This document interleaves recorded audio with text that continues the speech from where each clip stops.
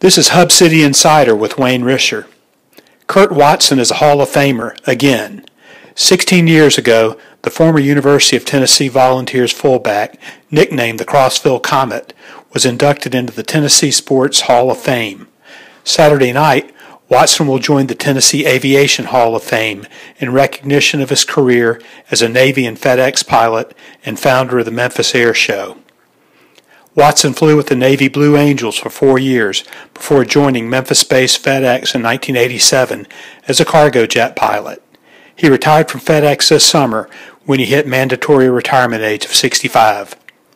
Watson was a founder of the Memphis Air Show in 1999. He spoke with us from his home in Naples, Florida, about his reaction to the latest Hall of Fame honor and his role in starting the air show. Kind of stunned that I would be considered because I just don't consider my uh, career to be that noteworthy. Uh, yeah. I, feel like the, the average pilot, to tell you the truth. But uh, I guess when when you're presented with the uh, the opportunity, it would uh, I just didn't know how to say no.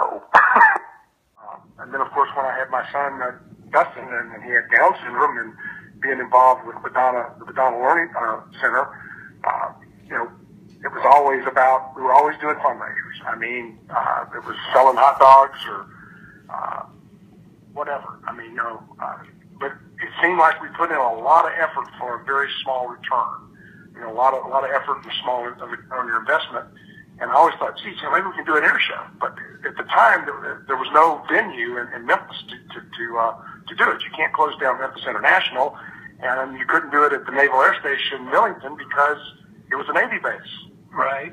And you can't charge, you can't charge anybody to go to an air show on a, on a naval base or any military facility for that matter. Uh, but when the Navy gave the airfield back, or gave the airfield to Millington and, and moved just to the south side of, and, and, and made that, you know, they closed the north side or you know, most of closed, closed everything up there, but they gave the field to Millington. Now it's, it's Millington Regional uh, Jetport. Uh, I kind of went, huh, we have a venue. Yeah. And, uh, and that's when I started kind of, uh, digging around and, uh, calling people and, uh, and, and trying to see if we could, uh, if we could possibly put on an air show. And that's, that's kind of how it started. Cause, FedEx announced the recent addition of Chris Inglis to its board of directors, which now numbers 13. Inglis retired last year as deputy director of the National Security Agency. He's visiting professor of cyber studies at the U.S. Naval Academy.